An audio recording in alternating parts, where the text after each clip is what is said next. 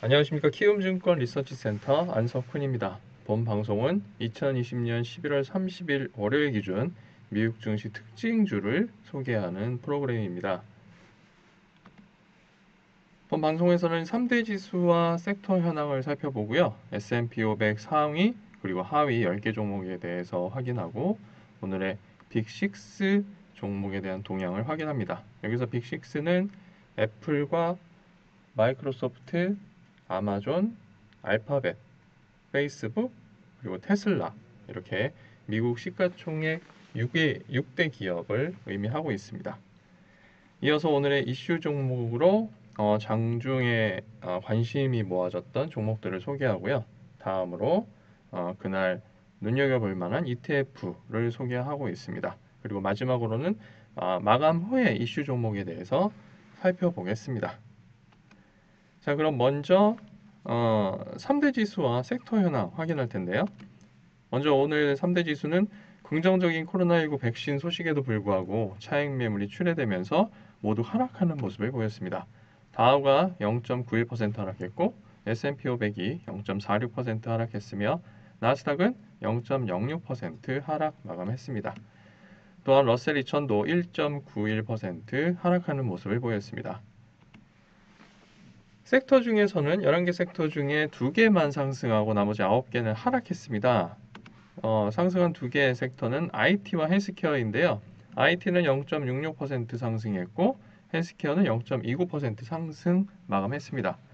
반면에 9개 하락한 섹터 중에 금융이 1.92% 하락하는 모습을 보였고요. 에너지가 5.37% 하락하면서 가장 어, 큰 하락률을 기록을 했습니다. 그럼 이제 S&P 500 중 상위 10개 종목 현황에 대해서 한번 살펴보겠습니다. 먼저 가장 높은 상승률을 기록한 종목은 시장조사 업체인 IHS 마켓입니다.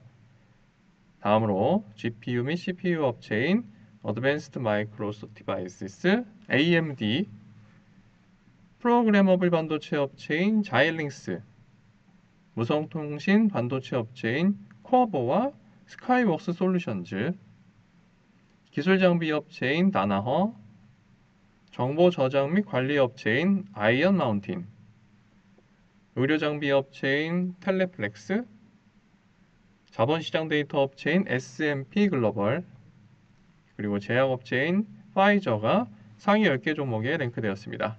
어, 오늘 반도체 기업들의 상승폭이 상당히 컸고요. 시장조사 업체 두 군데의 상승폭이 컸습니다. 반면에 S&P 500 중 하위 10개 종목 현황을 살펴보겠습니다. 가장 큰 하락률을 보인 종목은 에너지 탐사 및 생산업체인 EOG 리소시스이고요.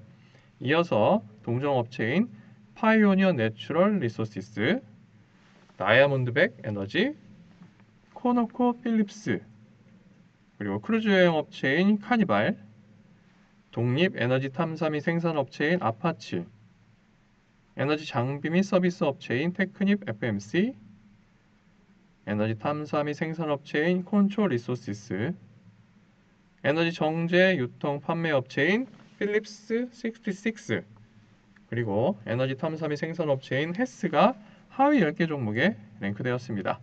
아, 하위 10개 종목 중에 9개 종목이 모두 에너지 업종에 속하고 있네요.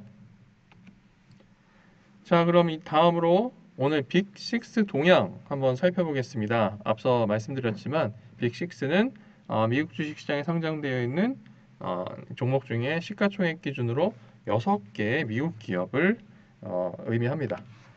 먼저 애플인데요. 애플은 오늘 2.12% 상승했습니다.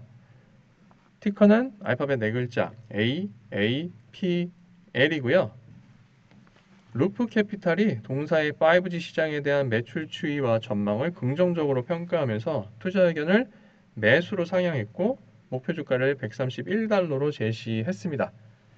더불어서 모건 스탠리도 투자 의견 비중 확대와 목표 주가 136달러를 유지했는데요. 강세 시나리오에서 목표 주가를 191달러로 상향 조정했습니다. 이에 따라서 오늘 어, 애플은 어, 상당폭 상승세를 보이면서 지수도 어, 어느 정도 견인하는 모습을 보였고요. 애프터마켓에서는 1.48%, 상승 마감하면서 역시 장 마감 후에도 강한 상승세를 보였습니다. 그리고 이외에 어, 대형 기술주들은 어, 하원의 독점 금지법 관련 검토 완료 소식이 하락세를 보였습니다. 마이크로소프트가 전일 대비 0.54% 하락했고요. 또 아마존도 0.74, 0.85% 하락하는 모습을 보였습니다. 어, 마이크로소프트는 오늘 뭐 특별한 이슈가 없었고요. 아마존닷컴 같은 경우에는 추수감사절 연휴 기간에 온라인 매출이 큰 폭으로 증가했다는 소식에 장전에는 상승세를 보였지만 어, 하원의 어, 독점금지법 관련 검토 소식에 하락 반전했습니다. 반면 애프터마켓에서는 0.42% 상승 마감했고요. 마이크로소프트도 0.15% 상승 마감했습니다. 그리고 알파벳은 오늘 1.82% 하락했는데요. 티커는 알파벳 다섯 글자 G, O, O, G, L이고 어, 영국과 프랑스에서 지난 금요일 규제 그리고 세금부가 추진한다는 소식이 영향을 미치면서 다른 종목들보다 특히 큰 하락폭을 보였습니다. 하지만 애프터마켓에서는 0.55% 상승 마감했고요. 자, 그리고 페이스북도 오늘 0.3% 하락했습니다. 어, 오늘 고객 서비스 플랫폼 스타트업인 커스터머를 인수 완료했다는 월스트리트 저널의 보도가 있었는데요. 어, 전반적인 시장 분위기에서 어, 상승에 대한 영향을 미치지 못했고요. 어, 이 커스터머라는 업체는 페이스북 메신저를 통해서 챗봇 등의 서비스를 이미 제공 중인 회사입니다. 마찬가지로 페이스북도 오늘 애프터마켓에서는 0.52% 상승 마감했습니다. 자, 그리고 테슬라입니다. 테슬라는 오늘 3.1% 하락 마감했습니다. 티커는 알파벳 네 글자 T, S, L, A인데요. 어, 장전에는 한 3% 이상 상승하는 모습을 보이다가 역시 장 시작 후에 하락세를 보였는데 지난 금요일에 연방 고속도로 교통안전국이 모델 S와 모델 X 11만 5천 대에 대해서 전방 서스펜션 안전 문제를 조사 중이라고 발표한 것이 어느 정도 영향을 미쳤고요. 또 이날 폭스바겐이 소형 전기차를 출시한다는 소식에 하락하는 모습을 보였습니다. 아, 하지만 여기 이 이런 내용 외에 리콜라와 GM 간의 제휴 소식이 전기차 업종에 대해서 전반적으로 부정적인 영향을 미쳤습니다. 반면에 테슬라는 오늘 애프터마켓에서 4.32%급 반등했는데요.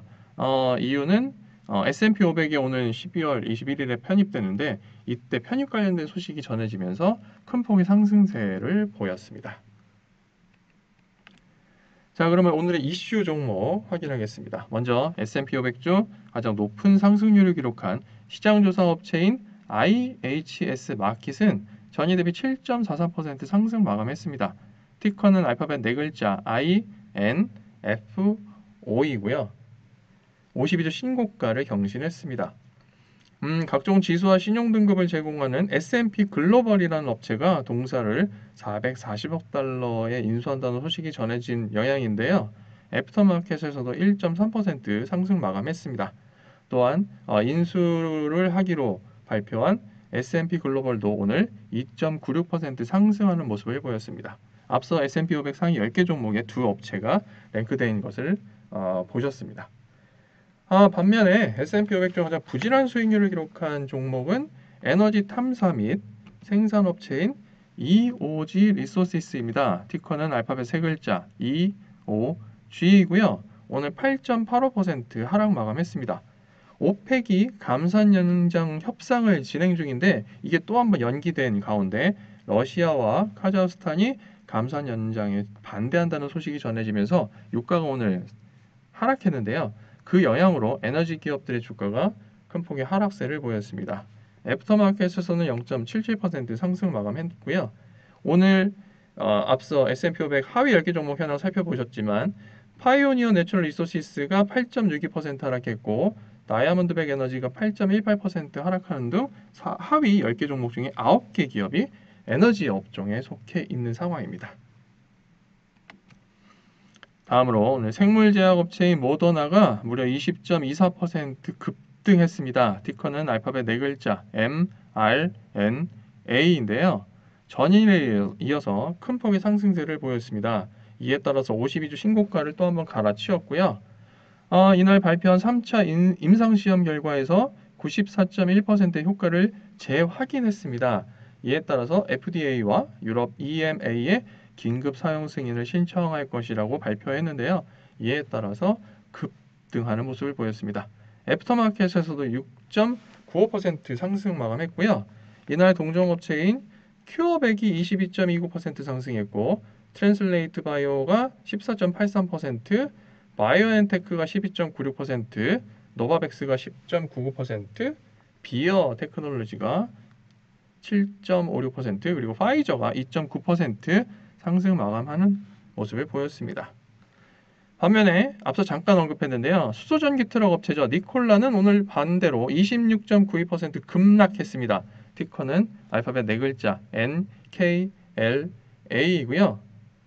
어, 이날 제너럴 모터스가 동사의 지분 인수를 포기하고 연료 전지 기술만 제공하는 양해각서를 체결한다고 알려진 여양인데요.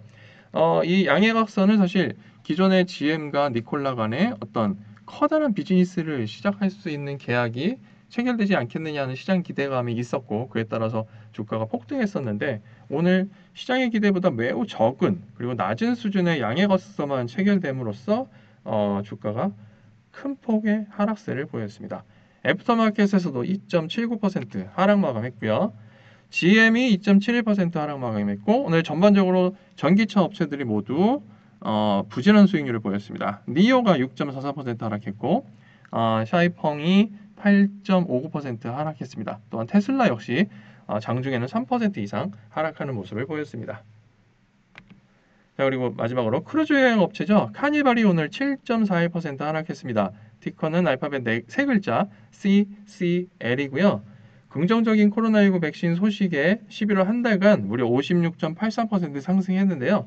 이에 따른 차익 매물이 출회되면서 오늘 상당폭의 하락 하락세를 보였습니다. aftermarket에서는 1.65% 상승하는 모습을 보였고요. 아, 동종업체인 어, 노르웨이지안 크루즈라인 홀딩스가 3.42% 하락했고 로열 크루즈 그룹이 아, 로열 캐리비안 그룹이 3.28% 하락했으며 아, 항공업체들도 오늘 하락폭이 컸습니다. 아메리칸 에어라인스가 5.67% 하락했고 델타 에어라인스도 1.93% 하락했으며 어, 메리어트 인터내셔널도 1.01% 하락 마감했습니다. 자, 이번에는 ETF 좀 소개해 드리겠습니다. 오늘 시장에서 좀 주목할 만한 종목들을 보면 먼저 전반적으로 봤을 때는 나스닥 QQQ 인베스코 ETF 티커는 알파벳 세 글자 QQQ가 오늘 0.2% 상승하는 모습을 보였습니다. 어, 이 ETF는 나스닥 100 지수에 해당하는 104개 종목에 투자하는 ETF이고요. 1999년 3월 10일에 출시되었고 운영 자산은 무려 1,433억 달러에 이릅니다. 어, 이 104개 종목 중에 가장 높은 비율을 차지하고 있는 종목은 애플이고요. 12.54%의 비중을 차지하고 있습니다. 오늘 이 ETF의 주가 상승은 어, 애플의 상승이 대부분 큰 영향을 미쳤다고 볼 수 있겠습니다. 그리고 다음으로 S&P 500 Technology Sector SPDR 어, ticker는 알파벳 세 글자로 XLK가 오늘 0.67% 상승 마감했습니다. 이 ETF는 S&P 500에 속해 있는 기술주 74개 종목에 투자하는 ETF인데요. 1998년 12월 16일에 출시되었고 운영자산 규모는 363억 달러 정도 됩니다. 그리고 애플이 22.75%의 비중을 차지하고 있어서 상당히 큰 비중을 차지하고 있죠. 근데 다른 종목들은 오늘 어, 상승세가 높지 않아서인지 어, 전체 ETF의 상, 그 주가 상승률은 크지 않았습니다. 아, 상대적으로 컸군요. QQQ에 비해서는. 자, 그리고 하나 더 소개해 드리겠습니다.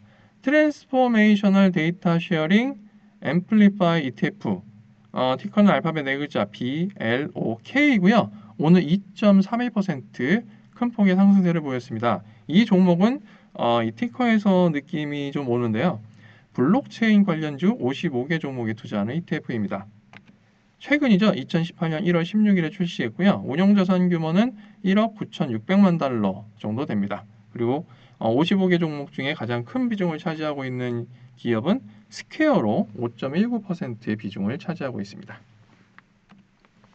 자 그리고 오늘 마감 후에 이슈 종목 두 개 소개해 드리겠습니다. 먼저 화상회의 소프트웨어 업체죠. 줌 비디오 커뮤니케이션즈가 오늘 5.09% 하락 마감했습니다. 장 마감 후에 5.09% 하락 마감했고요. 어, 정규장에서는 1.44% 상승했었습니다. 오늘 장 마감 후에 실적을 발표했는데요. 2020 회계년도 3분기 실적이 전망치를 상회했습니다. 전년 동기 대비 매출은 무려 366%가 증가했고요. EPS는 무려 1000%가 증가했습니다. 그리고 4분기 가이던스 역시 전망치를 상회했는데 반면에 이러한 실적 성장세가 저하되고 있다는 우려감에 큰 폭의 하락세로 마감을 했습니다. 상대적으로 좀 놀라는 분들이 많이 있을 겁니다. 어, 실적이 이렇게 좋았는데 어떻게 이렇게 주가가 큰 폭에 빠졌을까? 아, 이런 걸 보시면 내일 시장에서 장전 그리고 정규장에서 하락할 가능성이 높기 때문에 종목 유의해서 보시기 바랍니다. 자, 그리고 두 번째 종목은 생물제약 업체입니다. 바이오엔테크가 장 마감 후에 0.45% 추가적으로 상승했습니다.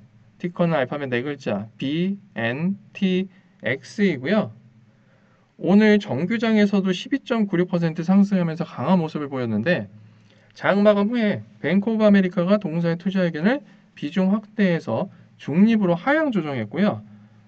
이에 따라서 애프터마켓 시작한 후에 1% 이상 하락했는데 어, 추가 매수세가 유입되면서 0.45% 상승 마감하는 모습을 보였습니다. 바이오테크 종목들에 대한 어떤 매수세가 상당히 강한 것을 느낄 수 있고요. 내일 주식시장에서도 어느 정도 영향을 미칠 테니까 이점 어, 유념해 주시면 좋겠습니다. 자 이상으로 2020년 11월 30일 월요일 기준 미국 증시 특징주 안내해 드렸습니다.